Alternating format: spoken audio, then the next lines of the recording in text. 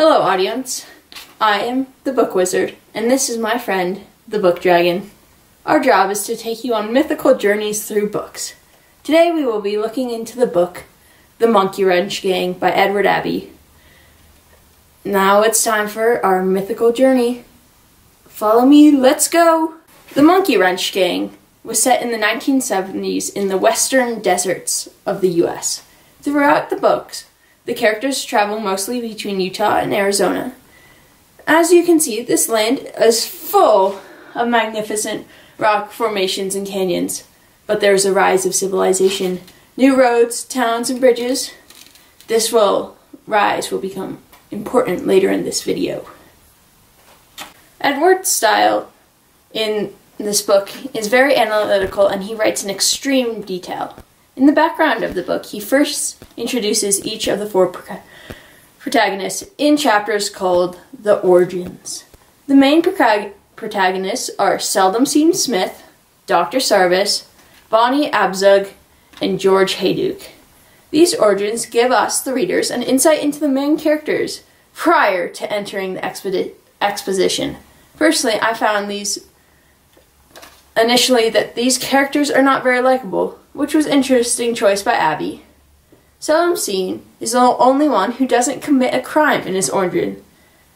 This makes me want to read more to find out more about these characters. Once the exposition starts, the four main characters meet for the first time. Miss Abzug and Dr. Sarvis are going on a raft trip down the Grand Canyon. Seldom Seen is the raft guide, and and Seldom Seen hires Hayduke as an assistant guide. Once on the trip, the four connect over similar hatred towards the industrialization of the western deserts. These four then form the gang and set off to destroy the property of the oil and building companies. How, how much will they destroy? Will they get caught? You'll just have to read the book to find out. And for the part you've all been waiting for, our opinion.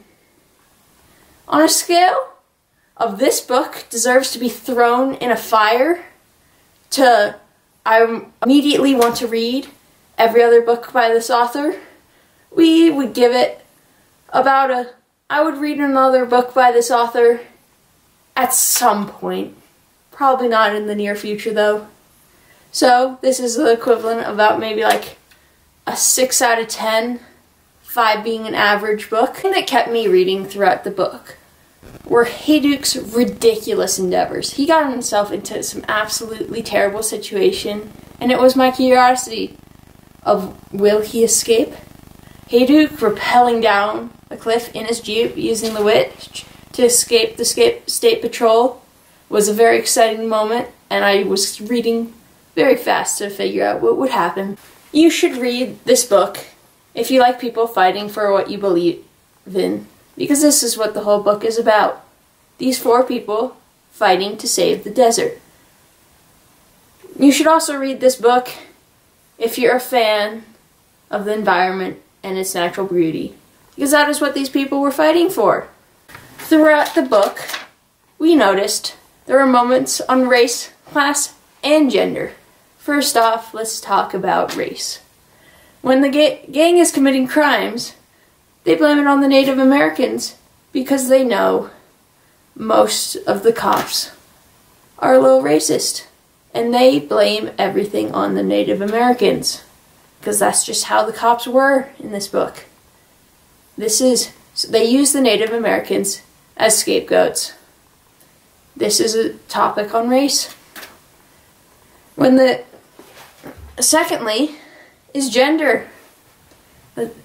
When the game was just forming, it was originally just three three guys because Hayduke thought Bonnie couldn't handle herself in the field because she was a woman. Bonnie then, throughout the book, proves Hayduke wrong by performing all the same tasks that the men could do. That's right. And finally, class, because it's a small group of four individuals fighting these giant multi-million dollar companies. That's a big class gap. Four people versus multi-million dollar companies.